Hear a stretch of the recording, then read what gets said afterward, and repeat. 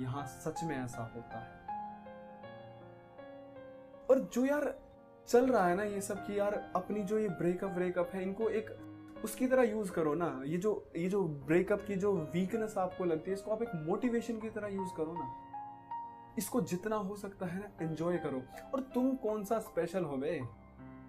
ऋतिक रोशन साहब का भी हुआ है। ये अपने टॉम क्रूज भैया का भी हुआ है, ब्रैड पिट साहब का भी हुआ है तो तुम कौन से स्पेशल हो बे? और ये बातें ना सुनने में बड़ी अच्छी लगती है कि प्यार, इश्क, मोहब्बत, होता अपने आप है। बेटा, ज़िंदगी झंड हो जाएगी। धोखा इन सब का बाप है। समझो इस बात को।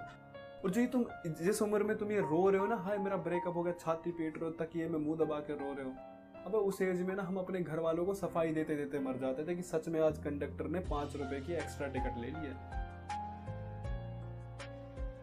और परेशान हो ना, परेशान हो, ठीक है, इस चीज़ को मतलब एक पॉजिटिव उसमें लेना कि यार ठीक है, मुझे कुछ करके दिखाना ये नहीं रिवेंज नहीं, कि यार ठुकरा के मेरा प्यार, मेरा इंतकाम देखेगी अरे ये सब नहीं, अपने लिए करो, उस औरत के लिए करो ना, जो घर में है तुम्हारे और जिस पे तुम अपने मूड स्विंग्स भी निकालते हो, फिर भी वो तुम्हें कुछ पलट के नहीं कहती है। उसके लिए करो ना। और यार, ये सब कहना कि प्यार दोबारा नहीं होगा, हाय मैं लुट गया, हाय मैं बर्बाद हो गया सब कुछ भी नहीं है। ये नशे वसे काटना बंद करो ना। इतना ही शौक है। इतना ही शौक है मतलब कि नशे वसे काट के खून वून बहाने का तो जाके इससे बढ़िया ब्लड बैंक में दे आओ। और बहुत बड़े शायर ने भी कहा है कि झूठ कहते ने लोग कि प्यार दोबारा नहीं हो सकता।